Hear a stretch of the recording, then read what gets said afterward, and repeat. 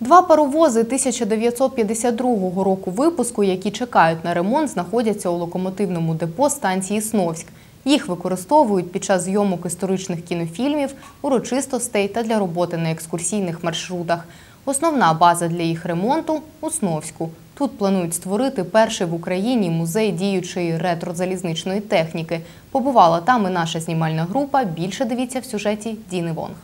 Паровози як основний вид залізничного транспорту в Україні більше не використовують. Зазвичай їх залишають для роботи з екскурсійними потягами. Загалом в Україні їх чотири і ремонтують їх тут, у локомотивному депо на станції Сновськ. Паровоз серии R, который на угле, ему мы уже начали проводить ремонт, то есть выкатили вторую колесную пару. Сейчас проводим ремонт этой колесной пары. Далее будем делать полную дефектовку, разбор котла э, и замену труб. То есть будем готовить этот паровоз на Киев угольный. А нефтянку планируем с Киева забрать сюда, чтобы по месту здесь был паровоз тоже рабочий. За цими дверима цех ремонту. Там нині стоять два паровози 52-го року випуску. Чекають на ремонт. В настоящее время людям интересно, как работали в старое время паровозы.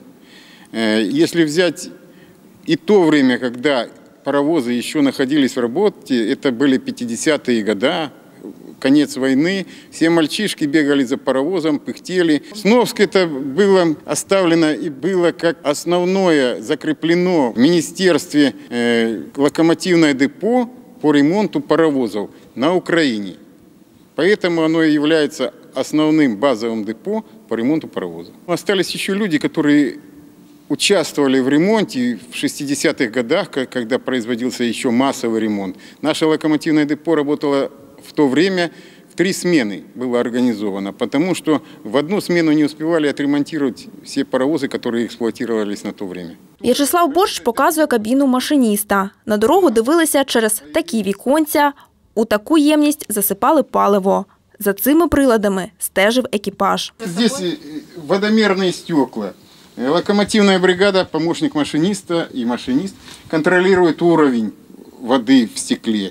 И не дай бог упустить уровень меньше нормы. Водіїв паровозів у депо станції Сновськ четверо. Один із них Євгеній Скоробогацько. Тепловоз это все электрика, так сказать, а паровоз это все человеческий труд. Там нужен и кочегар, который уголь бросает. Ну, ну, много всяких нюансов, где э, больше нужно залаживать человеческого труда, чем тут. Так сказать, по кнопкам нажал и поехали.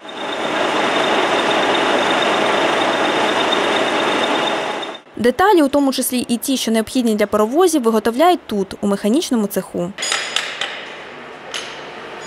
Є при депо і кузня, де додатково обробляють і інвентар, і деталі.